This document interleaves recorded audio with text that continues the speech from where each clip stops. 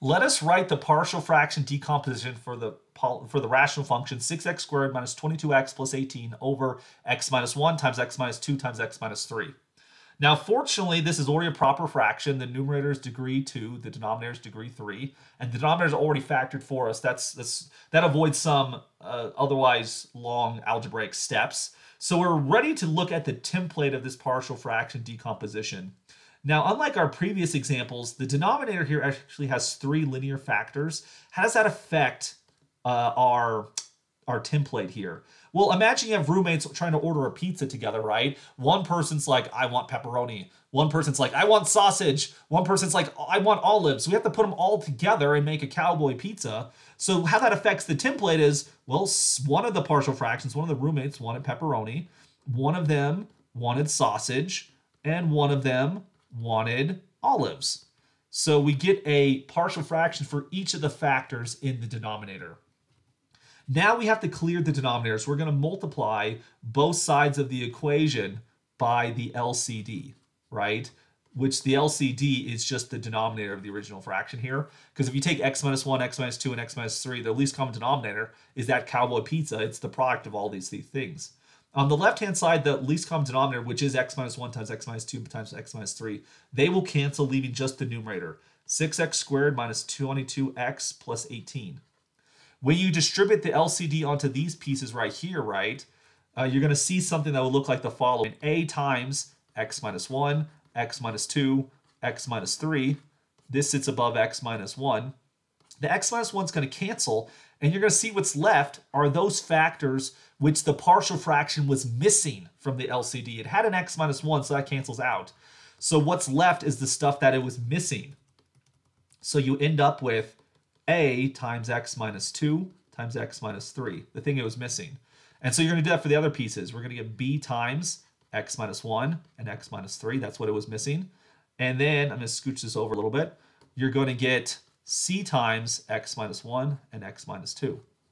So now let's do our annihilating values here. So I'm going to start off with x equals 1. If you plug in x equals 1, b would, would annihilate, c would annihilate. And so on the left-hand side, you're going to get 6 minus 22 plus 18. This is equal to, you're going to get a times negative 1, 2 minus, uh, 1 there. And then you're going to get negative 2, 1 minus 3.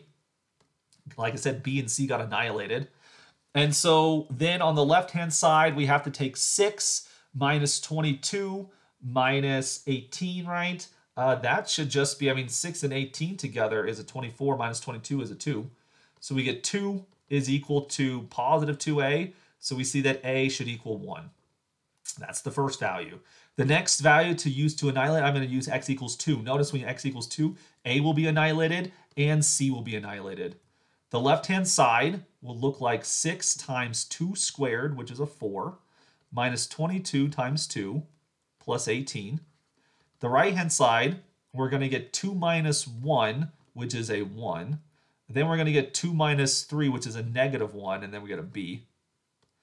Simplifying the left-hand side, this is the, the hardest part here, but honestly, you know, I mean, it's it's not the it's not the worst thing in the world, right? You get 6 times 4, which is 24. You get 22 times 2, which is 44, plus 18, right? Uh, the right-hand side should be a negative b. You're going to get 24 minus 44, it's a negative 20, plus 18, that gives me a negative 2, which equals negative b. And so that then tells us that b equals 2, like so. And then doing the last value, we want to annihilate using 3, right? When you do 3, that'll take away a, that'll take away b, that leaves just a c. So you have to do 6, 6 times 3 squared minus 22 times 3 plus 18. On the right-hand side, you're going to end up with 3 minus 1, which is a 2. You get that from this factor. Then you're going to get 3 minus 2, which is 1. So you're going to get a 2c on the right-hand side. You can do this arithmetic, but I also want to remind you, you can use synthetic division if you want to, right? Remember, synthetic division, if you take 6, negative 22, and 18, and you do 3 right here, this could be a little bit easier to do. Drop down to 6. 6 times 3 is 18, minus 22 is a negative 4, times 3 is a negative 12, plus 18 would be a uh, positive 6. That's the evaluation here. And so we're going to get that 6 equals 2c. Remember, the remainder, when synthetic division is done, is the same thing as evaluating the polynomial, right? So you get 6 is equal to 2c or c equals 3, like so.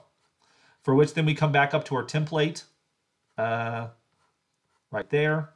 And so what we saw was that our rational function was equal to 1 over x minus 1 plus 2 over x minus 2 plus 3 over x minus 3 which is our partial fraction decomposition.